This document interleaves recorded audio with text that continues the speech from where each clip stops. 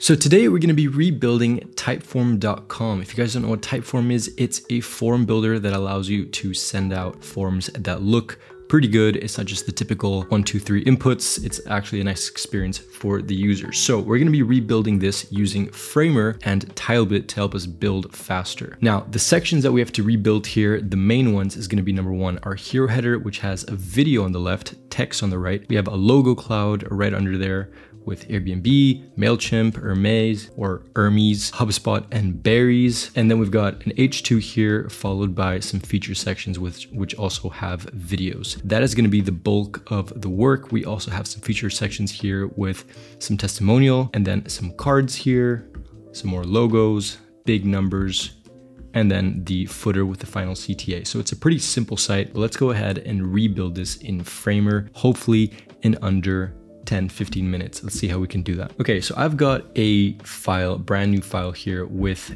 a nav bar already inputted in. And the reason why I did that is just to save a little bit of time on the video but anyways, you can just add in your own nav bar if you want, or you can do what I did, which is use the Tilebit component library. Now this is a component library for Framer, Webflow, Figma, all the good stuff like that. So I just go ahead here and copied this and pasted it inside of Framer, just like that. And here we have the component itself. So let's go ahead and build the next section, which is gonna be this hero header. So to do that, we go back into Tilebit and I'm just gonna type in hero header. And you guys can use the framer layouts as they have them like this. So for example, we can just paste this in and we actually just want to move this to the right. Let's see if we can do that. And here we would be pasting in a video. Now, the good thing about Framer is that you have this canvas where you can kind of spectate around everything which is fantastic. So it's actually, let's try to use as many Framer components as possible because they are really good. But obviously if I've built a component library, I'm gonna, I'm gonna try to use as much as I can, right? But anyways, here we can add a video and this we can just simply change the H1. So let's go ahead and just paste that in, grab this comment, and you'll see on the right side here that it's automatically changing all the text. Even if we're not kind of manipulating those breakpoints, it's still gonna be updating the text for us. And then get started, it's free. So we've got pretty close there. It's free, something like that. Delete that secondary. And we see that we have a, a shadow here on the framer button, but we don't actually have it inside of the real one. So let's see what we can do here. So for shadows, we've got realistic here, which is very nice, but we don't necessarily need it. So I'm just gonna get rid of that. And then here we have a conflicting issue because we're using Tilebit for the nav bar and then framer components. I'm actually gonna get rid of the Tilebit. We can just paste in a nav bar. This is gonna be a little bit more simple. Okay, so I added in one of the framer navs. It's not exact to what we need. We still need these two buttons here. So let's go ahead and add that in instead. So we can create a component here with this button. Variant one is okay. And then we go ahead and want to edit this. So we can go ahead and just paste it here, see how it works. Okay, and then paste another one. And then we have to edit this variant to make sure that it has the secondary color that we need. So we can add in another variant here and we can call this instead of primary, variant one is primary, variant two can be secondary. So we're just gonna name the layers here. Okay, then variant two can be fill with white. And then the text itself can obviously be that dark. We can use the same one. Okay, now we've got that. We can go ahead and pick, let's see, we can pick the correct variant Okay, and change the text to be login and sign up. So let's see. So obviously if we go ahead and change in the text here, just like log in, log out for these two individual buttons, which is what we need, we need different text. It's going to change the text for all of the components. So what we need to do is go back in here to this component and for the text itself, for the content, we need to click on that and plain text. So this can be text, placeholder, we can add something if we need to, but I don't think it's necessary. And then we're just gonna do that. So now whenever we have that specific button that we need, so for example, this one, log in, log out, we can change the text to be log in, and then this one can be sign up, go back home, and then this can be get started, it's free. Get started, it's free, something like that. All right, so that's good to go. But now there's a pretty glaring issue. Number one, there's no video. Number two, the padding is off on this right section here. Number three, the text is gonna be wrong, of course. So now we're gonna use a tool called WhatFont. You can grab it on Chrome or Arc or anything like that. And we see that when we hover over this font, it tells us exactly what font that is. But this is probably gonna be a paid font and it's not necessarily important for this video to have this exact font. So we're just gonna go with something approximately close enough. And we are gonna grab Inter is good, but we can maybe change it to regular and that's probably good enough. And then let's go back into WhatFont. And so we can see the weight, the line height, the size, and this is really good when you are kind of recreating these sites because it tells you exactly the size of something that you're rebuilding, right? So let's go back, maybe make it 200 or 1200 in width so we can kind of get an idea of how this is supposed to scale. Okay, so this is actually going to be 5 REM. 80 pixels is 5 REMs, but that looks a little bit oversized. So for now we can just do 60 and we can reduce the padding here. But to, to actually find the padding, we need to go into, let's see, to go in here into inspect and we need to see exactly what these guys have done. And so this allows us to really get into the nitty gritty of the site. I'm gonna make this full screen again. So let's see. Okay, so instead of changing the padding, we're just gonna make this a little bit wider to fill in the space that we need. Because it's with pixels, it can be moved like that and manipulated, which is fine for this case. So let's go ahead into inspect again and see what we are going to be using. So font size 24. So let's go ahead and change that. Maybe we can make it a correct color medium we can go to regular. Okay we see it's 24 weight line okay. Color we can make it a little bit lighter just to blend in and i'm actually going to reduce this because i think it might be a tiny bit different when we're actually building in this size. Okay so that's starting to look a little bit closer to us. Maybe we can make this smidge larger. Worth filling out is in its own line. So you can kind of use that to your benefit. You can make it close as possible. Okay so that's starting to get real good there. Okay, so now let's go ahead and just move on to the next section because we're eating up quite a bit of time here.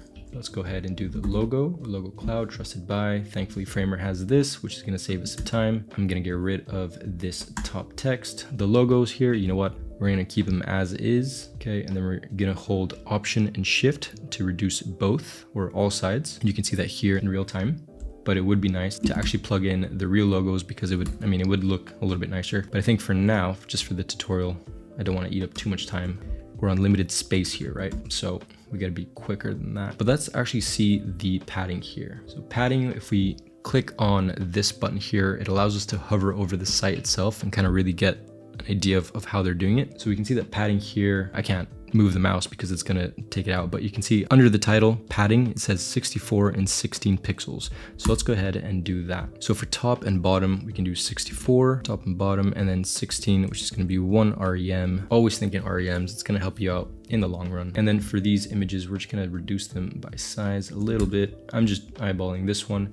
We can actually see that it's 99.7 by 35. So let's see how close I got there. So we can do 100 by 35. All right, we're getting there. So we have five logos here instead of six. Okay, close enough. Let's move on to the next one so we're not eating more time. Insert, we're gonna go into the sections here. So now I'm actually gonna be using this component here. I'm just gonna click on that and it's gonna insert it directly into the page that we need. And the thing that we can see here is gonna be number one, we need to kind of edit all the, all the content to always fit the same style that we want. So for example, the H1 here isn't exactly what we're receiving from this paste, which is fine, but just keep in mind that it takes about a second to change those kind of things. So I believe it was regular. Okay, so it's regular. Here we can go, actually I'm gonna delete this one so that we can edit one of them first. I'm gonna plug in, go into assets, go into project, drag in this button, not that one, that's the one. All right, I just have multiple buttons here because we have a couple projects going on, but let's go ahead and log in, log out. We can change this to whatever it wants to be. So in this case, I think all of them are going to be sign up. Okay, so then sign up. And now that we have this kind of layout that's already established, we can just copy paste all the information so that it's a little bit easier. Okay, I'm just going to X out of this so we can actually copy all the information. I'm to go back into inspect. Actually, I'm going to use the WhatFont again. Click on that and it'll tell us size 48. And then for the body text, size 20. So for this one, it's going to be 48, so pretty close. But again, I'm just going to be using the, the way that the, the text is actually being shown as the important thing here, because I think that tells more about the design than anything else. Okay, and then we got 20, and then text can always be adjusted. All right.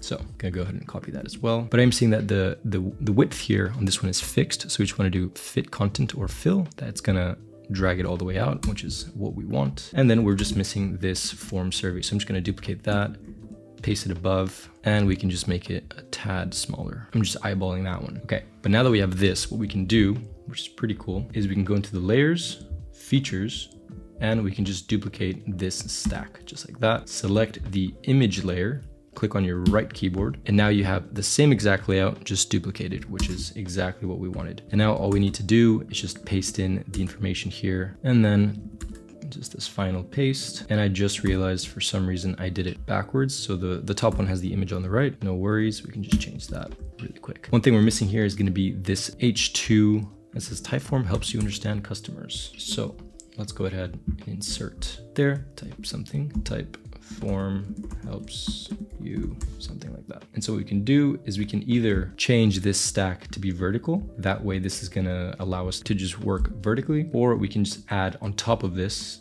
another stack, but I think it's fine the way that we did it first. Okay, and then again, we're just gonna be using WhatFont to select you see that 64, but really we're just gonna eyeball it anyways, so it doesn't really matter. So let's see, go into the text, size, pixel. It said 64, which I can respect, but I don't believe it's gonna be that one.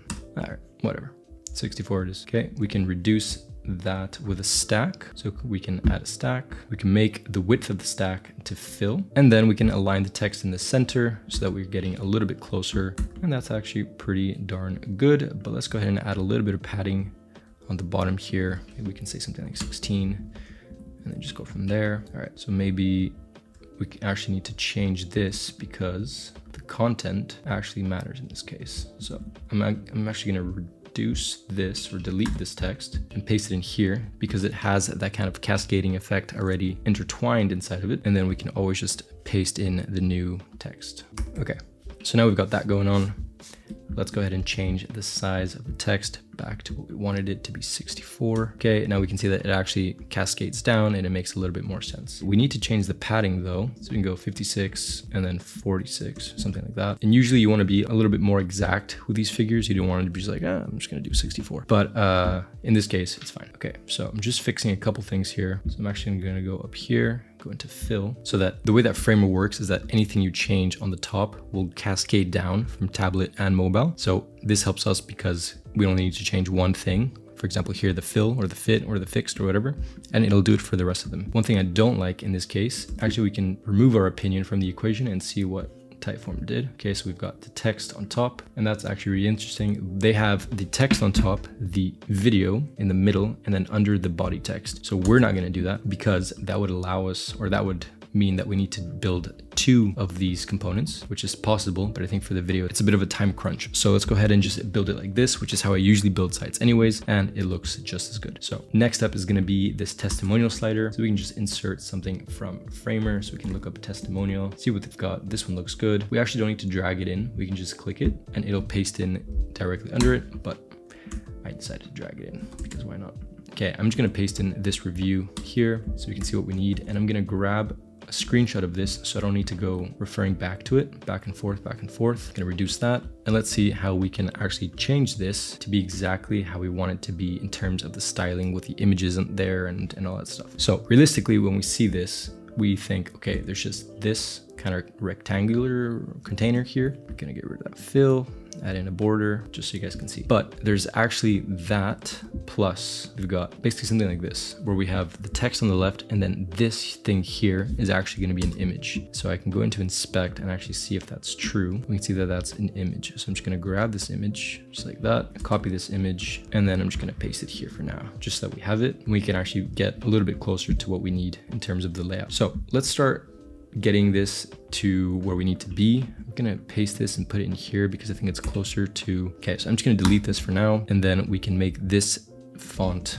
a lot larger. Again, regular bold, black, all that good stuff. Okay, so then here, we're gonna need the text to be left aligned, have this aligned to the left just for now. And then instead of fixed, we can go relative, go back into testimonials number two, and then we can just add this image inside of testimonials two, like that. Change the stack to be horizontal, and then maybe instead of relative, let's see, we go fill, feels fine fit will be even better. And so what I'm actually gonna do here is I'm gonna add a stack on top of this, or maybe these two can be the, the wrapper. And I'm just gonna use Command or Control C, pardon me, to swap out the background color to be the color that we need. So for example, here, just like that. And we're gonna add a pretty aggressive gradient. And that's getting us a little bit closer to where we need. Drag in the button here to our exact place. And I'm choosing my arrow key to make sure that we need, we place exactly where we want it. The issue is with going super custom like this is that obviously things break layout wise. So let's see how, how they did it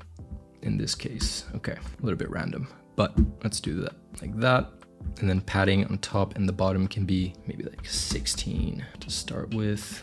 86, bottom 86. Okay, so let's go ahead and do the same thing. Okay, and then for this case, we just want to go maybe fill. Okay, so I just made the text itself 100% width so that it can actually span the container that we need. And then inside of stack, we can actually go ahead and add in the padding that would make us content to our souls reduce the circularness smidge, add in a little bit of padding right there, and then make it a smidge larger. Okay, so that's getting us a little bit closer to what we need. The text is centered, so let's go ahead and replicate that. We can align the text center as well, like here. Go into all these text layers, centered, stack needs to be centered, of course. And then the sign up, we can actually make it fill. And that way all the buttons are just horizontally aligned for, let's get rid of that. Okay.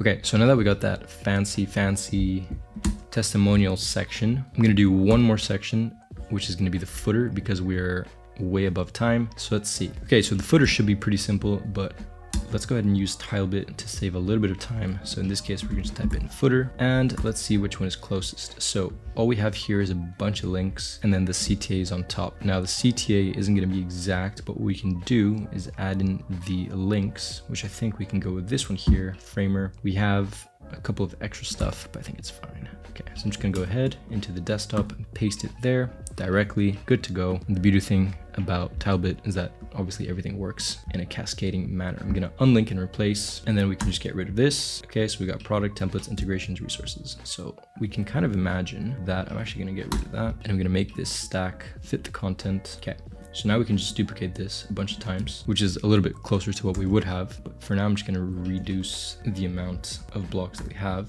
because some edits still need to be made. So in this case, the long link name is actually product. Get rid of that.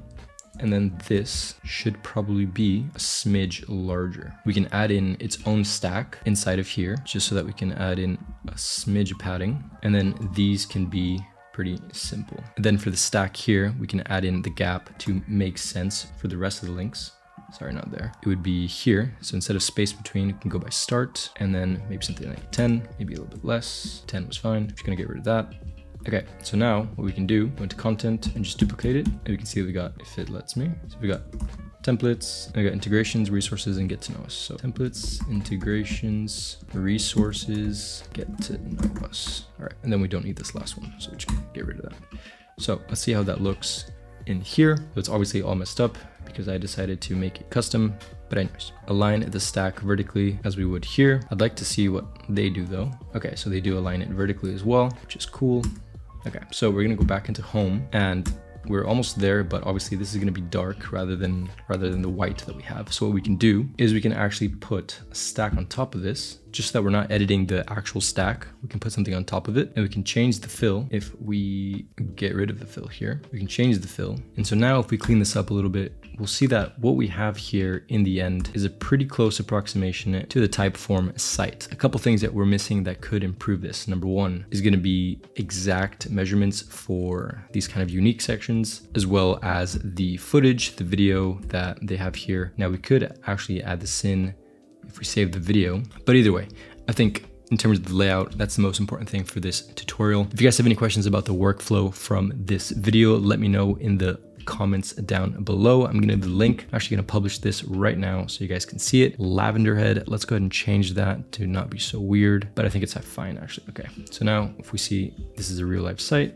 fantastic. And then these are actually working drop downs, which is quite good. Okay, cool. So now actually I wanna add this in and we can inside, we can see, okay, so then their breakpoint is a little bit earlier than ours. But anyways, I think it's fine just to see how, as an exercise, how their their site transforms from this desktop version into a smaller, actually make mine smaller. So if we actually do it side by side like this, maybe make mine a tiny bit bigger. Okay, we can see that, yeah, it gets pretty close.